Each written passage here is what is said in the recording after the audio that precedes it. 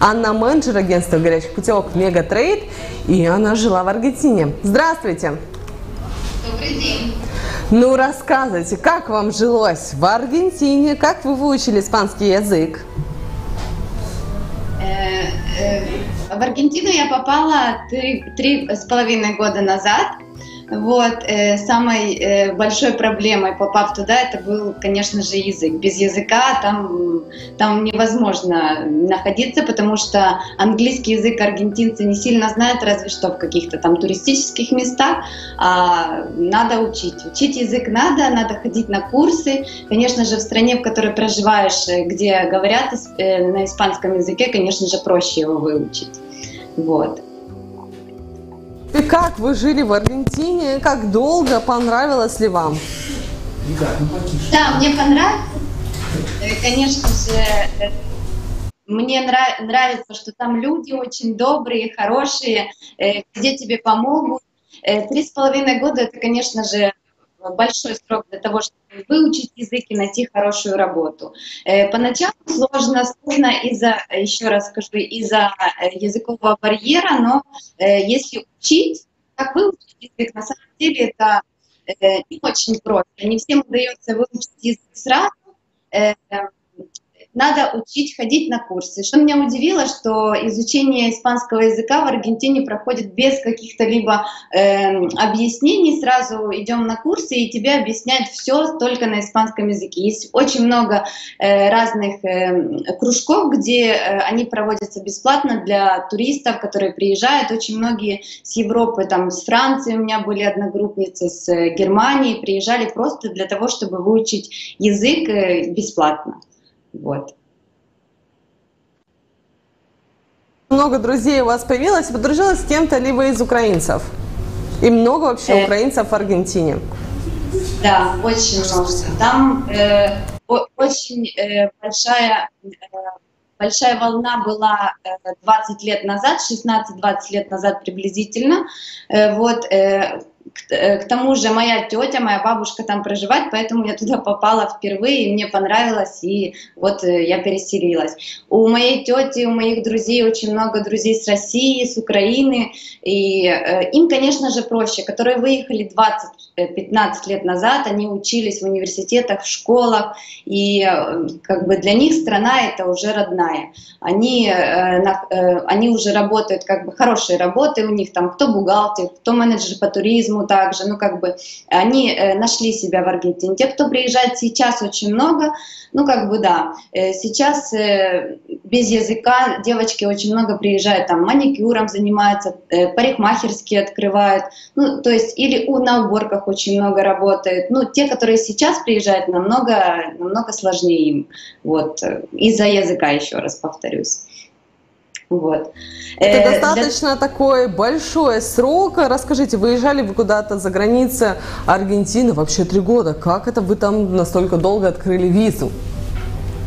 Э, смотрите, для того, чтобы, э, чтобы э, жить легально в Аргентине, надо, есть четыре, четыре варианта, чтобы получить временный документ, ну, то есть документ на временное место жительства, а потом уже и постоянное.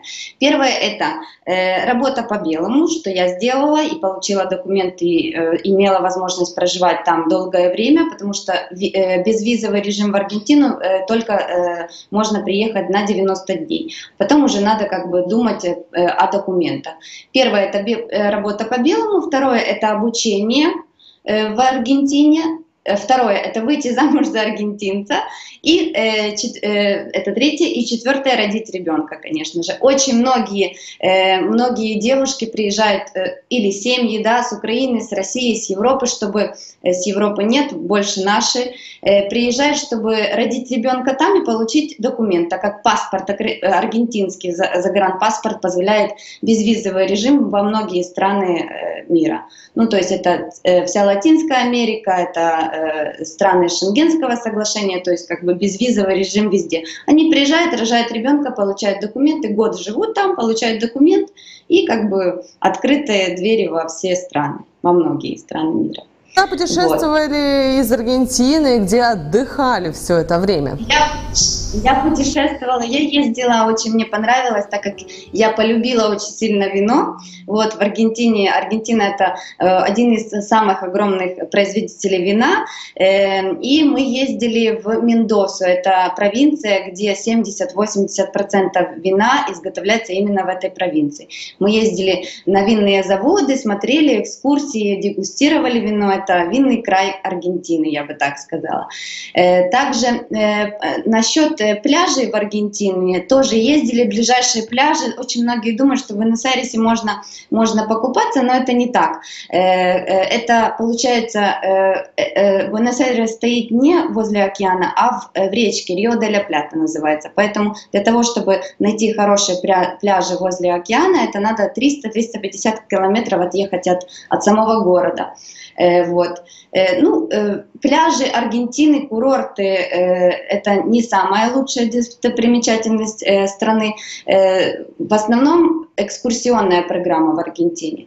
Э, это водопады Игуасу, это Ушуая, огненная земля, это самый южный город планеты. Вот. Это горы, Патагония, которые Анды, и э, ну, много-много всего. Э, красивая природа, начиная от э, Аргентина настолько большая страна, что там как бы в Буэнос-Айресе тепло, жарко, никогда нету снега. Когда мы поднимаемся на юг страны, там, конечно же, уже зима, горы, красота. Путешествовала я, ездила, это была моя мечта, я съездила в Рио-де-Жанейро, в Бразилию, там, конечно, шикарные пляжи, красиво. Вот аргентинцы любят, конечно же, ездить, это ближайшие курорты, куда можно добраться с Буэнос-Айреса это Бразилия, в Рио-де-Жанейро. Вот. Кухню, про местную кухню наверняка выходили в супермаркеты, скупались в супермаркетах. Немножко больше о еде. Да, еда. Это самая любимая моя тема. Вот, аргентинцы любят очень мясо. Вот, это самое лучшее мясо в мире, я бы так сказала, где я не пробовала, там самое оно вкусное. Секрет заключается в том, что коровы там, э, коровы там, э, коров выращивают в, в полях, и они там живут, как бы никто домой их не забирает, поэтому э, из-за климатических хороших условий они, э, они э, могут находиться постоянно на улице. Они набирают мышечную массу, вот, и постоянно едят. Секрет в том, что просто, э, просто мясо вкусное, его не надо никак соли, э, ну, как бы никакие приправы давать, ничего. То есть э, мясо едят везде, на улице. Были такие моменты, что я просто шла на улице в Буэнос-Айресе, по, э, там, где дорога, и там просто стоят люди, жарят, ставят свои, как бы, мангалы, так можно сказать, и жарят мясо. Даже, как бы, бедное население позволяет себе купить. Я не сказала бы, что мясо дешевое, но э, без мяса они не живут. Ну, то есть, как бы отказать в чем-то они могут, но в мясе нет. Это мясо. Также, и, э, также очень много, э, так как там очень много итальянцев, которые иммигрировали еще давным-давно, и э, они считают, э, считают, многие считают себя итальянцами.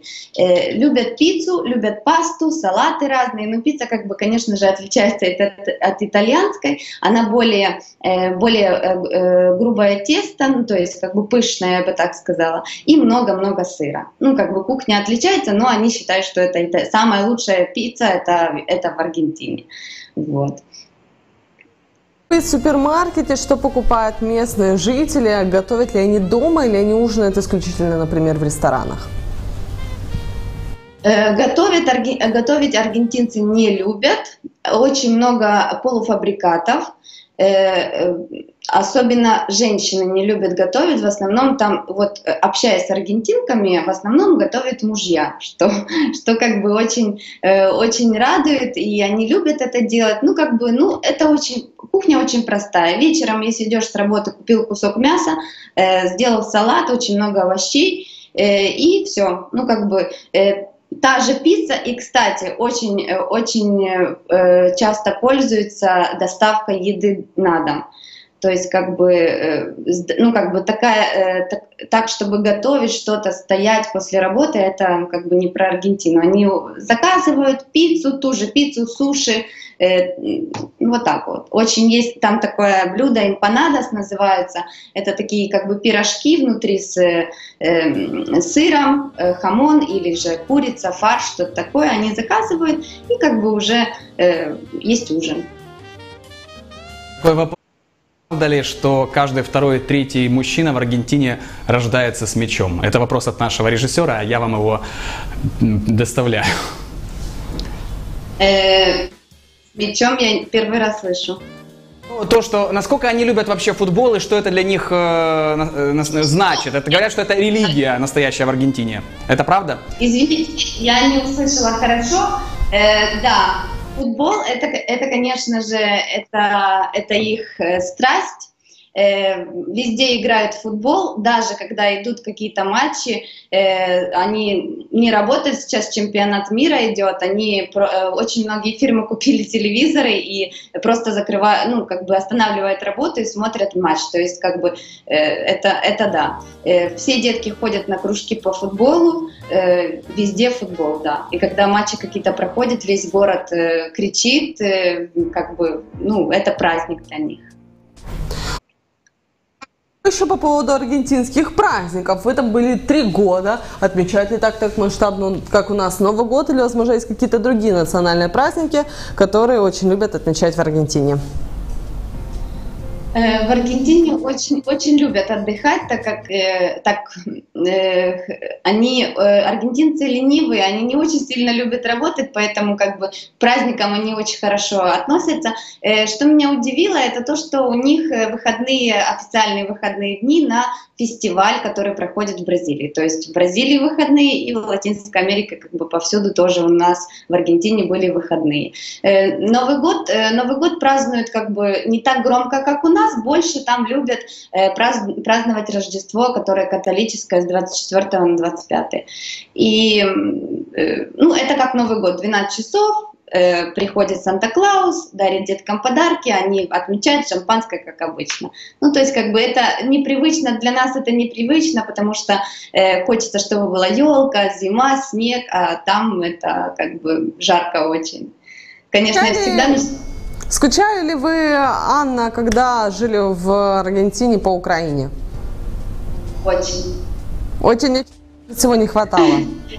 Я э, чего не хватало? Мне не хватало э, больше всего родителей, э, вот, э, не хватало нашей, э, не знаю, наших людей. Когда я старалась всегда каждый год прилетать в Украину, и когда вот этот вот самолет в Киеве приземляется, это все, это все слезы, потому что это все такое красивое, эти домики наши, это травка, это, это небо, я не знаю, но это это может только прочувствовать человек, который живет за границей, что это такое, как бы скучать, что это такое ностальгия настоящая, как бы только тогда. Не знаю, это, это очень за родиной. Туристы, которые хотят отправиться в Аргентину, что бы вы им посоветовали? Я посоветовала бы очень быть осторожным э, на улицах города, мы всегда туристам э, советуем, чтобы в любых странах они были осторожны, но в, э, в латиноамериканских странах это более. Я не могла спокойно разговаривать по телефону, идти по телефону разговаривать, это очень опасно, потому что тебе могут вырвать просто телефон из рук. Сумочки надо держать очень сильно, можно ехать в автобусе, окно открыто, разговаривать по телефону, тебя могут сорвать телефон, это как бы тоже очень опасно. Э, воруют, и вечером тоже надо быть э, очень осторожным. Э, для туристов, которые прибывают в Буэнос-Айрес, э, это, конечно же, взять обзорную экскурсию по городу, потому что там очень много красивых мест, и посетить обязательно э, водопады, которые Игуасу, Ушуаю, которая огненная земля, поехать, поехать на побережье аргентинское для того, чтобы знать, что такое океан да, в Буэнос-Айресе, и ну вот так вот, экскурсионно больше ездить, очень много ездить. Много есть мяса, потому что, потому что в Украине и пить много вина. Вот. Спасибо, что были сегодня у нас на связи, вышли с нами в прямой эфир и рассказали про Аргентину. Анна Малышкина была на связи, менеджер агентства горячих путевок Мегатрейд. Спасибо вам большое, и мы вам желаем отличного дня. До встречи в эфире. Спасибо. До свидания. Итак, вы решили отправиться в отпуск. Что делать дальше? Все достаточно просто. Наберите в строке поиска своего браузера hottour.com.ua Добавьте сайт в свои закладки. Он вас еще не раз выручит. В верхней строке рубрикатора нажмите кнопку «Где купить». Выберите из списка «Свой город», выберите удобное для вас агентство, заполните заявку или сразу свяжитесь с агентством и запросите тур. Приятного отдыха! Thank you.